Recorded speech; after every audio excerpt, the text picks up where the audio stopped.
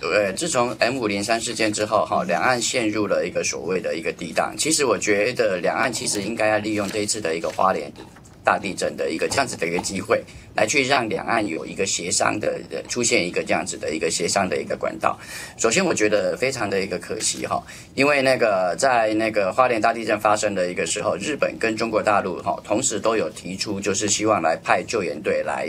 来花莲。来协助台湾，但是呢，那个很可惜的就是我们拒绝了在台湾这方面，哎，接受了日本，但是拒绝了中国大陆哈。那当然表面上的一个理由都是说日本是具有高感度的一个探测器，但是我觉得如果当时能够接受中国大陆的一个救援队，可以可以是说是什么两岸之间呢？在这个地震当中呢，伸出了一个友谊的一个手。那当时呢，我觉得这样子的一个拒绝，我觉得是两岸之间呢错失了一个非常重、非常好的一个机会。呃，南北韩呢都可以利用平昌奥运来去搭起友谊的一个桥梁，为何两岸之间不能利用这样子的一个花莲大地震来去重启这样子的一个对话的一个重启这样子的一个对话的一个管道？哈，所以呢，我觉得接接下来呢，我们可以看到就是说现在。的一个整个花莲大地震当中，还有两具的一个遗体还没有还没有，而而且都是来自大陆的一个的一个陆客。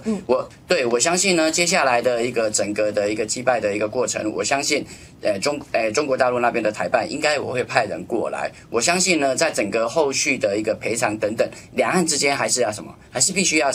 来进行所谓的一个协商。但是我希望这一次的一个协商呢，能够让两岸